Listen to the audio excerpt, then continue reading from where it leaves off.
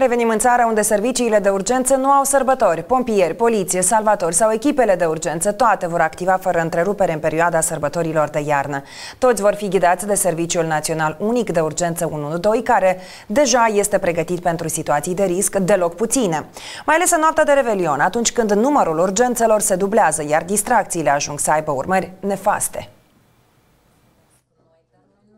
Victoria Mitrofan aproape în fiecare an petrece Revelionul ascultând, consiliind sau consolând oameni. Ea spune că în noaptea dintre ani volumul de lucru este foarte mare deoarece numărul apelurilor chiar se dublează, iar plângerile cele mai frecvente vin din partea vecinilor care sunt supărați de gălăgia petrecăreților. Cel mai mult m-a mirat pe mine că se solicită poliția la gălăgie.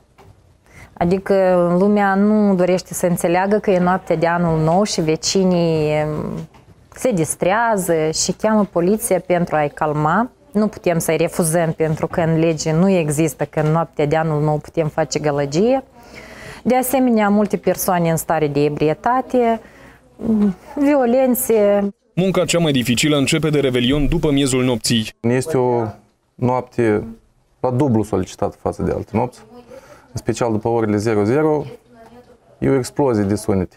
Se solicită mai des ambulanța și poliția. Ambulanța sunt pentru diferite leziuni și sunt provocate chiar de focuri de artificii, petarde. Iar toată fierbințeala și tensiunea poate fi diluată uneori și de apeluri nostime. Poți să ne întrebi și la ce oră este primul autobuz la Garea de Nord spre Ocnița sau întrebări de ce nu zboară avioanele. Operatorii serviciului 112 îi îndeamnă pe locuitorii țării să nu apeleze cu astfel de întrebări, deoarece ocupă o linie de telefon care ar fi mult mai necesară în acel moment pentru oameni aflați în dificultate. Dacă nu aveți o urgență, voi fi nevoită să închid. Vorbiți. Mai mult, operatorii serviciului 112 amintesc că suntem în perioada pandemică, foarte dificilă pentru întregul sistem de urgență. Astfel, oamenii sunt rugați să sune doar în situații de urgență. Rugăm cetățenii să fie atenți la tot ce se întâmplă acum în condițiile noastre de pandemie, să ne apeleze pe noi doar în cazuri de urgență. Îi rugăm mult de tot să nu ne apeleze fără urgență, că cineva care într-adevăr are nevoie de ambulanță, poliție sau pompieri poate aștepta un pic mai mult pe fir. Lumea trebuie să conștientizeze că sunt de acum maturi și trebuie să fie mai atenți nu în orice situație, nu are importanță în ce situații și, într-adevăr, dacă au o nevoie, să sune la noi. Noi să ajutăm de fiecare dată.